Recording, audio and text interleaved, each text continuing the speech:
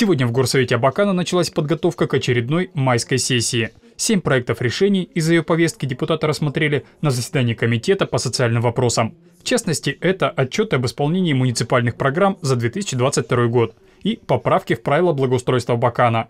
Они связаны с началом строительного сезона, а конкретно с работами по развитию инженерной инфраструктуры города – которые, как известно, редко обходятся без рытья траншей и повреждения проезжей части улиц и тротуаров. И, соответственно, возникла необходимость внесения в правила благоустройства поправки. И сейчас э, земляные работы проводятся у нас только бестраншейным способом, методом прокола, но э, траншейный способ, он также, конечно, разрешается, но только в случае, если не позволяется э, проводить такие земляные работы методом прокола. Для этого в обосновании, в проектной документации должно быть обосновано, что только таким способом возможно проведение этих работ.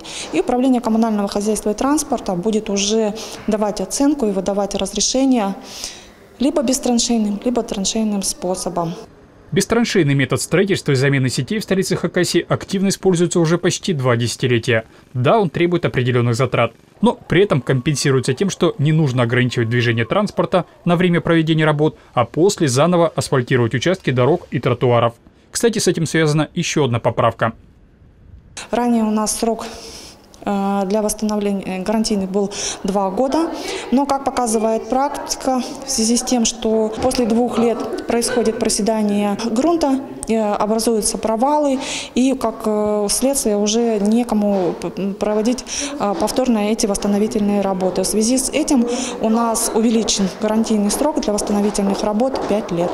При строительстве инженерных сетей асфальт на проезжей части, как правило, вскрывают небольшими участками, вдоль или поперек.